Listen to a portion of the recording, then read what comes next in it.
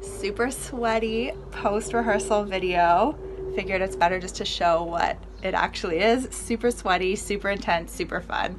Um, this was the second rehearsal. I absolutely loved it again. Loved last week's, loved this week's.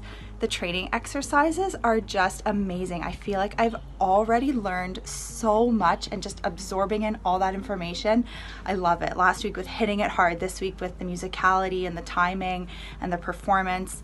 Um, now my next piece is to put all those things together because last week I was like, yeah, hitting it hard, feel like I hit it like as hard as I could have that time. This week I was like, yeah, I'm gonna hit it hard today. But now it was also put the facials and put the timing into it and the musicality, listening to the music. So next week, instead of just focusing on one thing, I'm gonna put it all together. Um, I find that especially hard, maybe too, because I didn't grow up dancing. I'm not a professionally or classically trained dancer. Um, I started dancing a couple years ago just for fun. I absolutely loved it. And then I had joined the beginner programs about a year ago or so. And uh, from there, just loved the training, loved dancing. So then auditioned for the intensive program because I just wanted to up my training and I absolutely have loved it so far. Um, I've had a couple people ask me, you know, why do you want to work so hard at dancing? Because you established your career, you work full time, you're in your mid 20s, like, why are you doing this now? And my response has been, you know, well, why does anybody do anything? I mean, why does someone train for a marathon, for example? We've had these marathons blocking our way to get to rehearsal.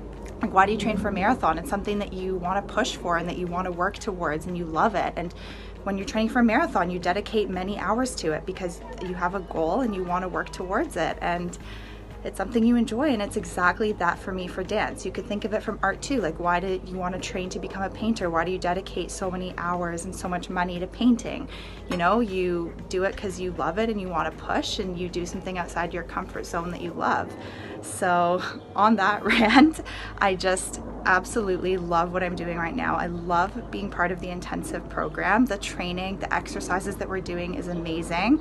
I can't wait to keep improving. I know that I have a long way to go.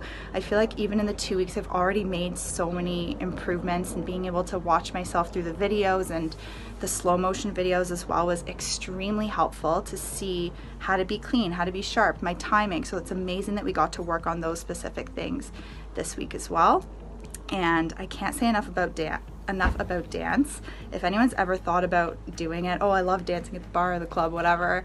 Um, if you just love dancing in your room, like it's something so amazing to try in a class setting and just the vibes from everybody and it's such a positive, happy thing. So that's at least how it is for me. And if anyone else is thinking about it, I would highly recommend it because dance is just life. Anyways, hope everyone else has a good week and uh, can't wait for next week.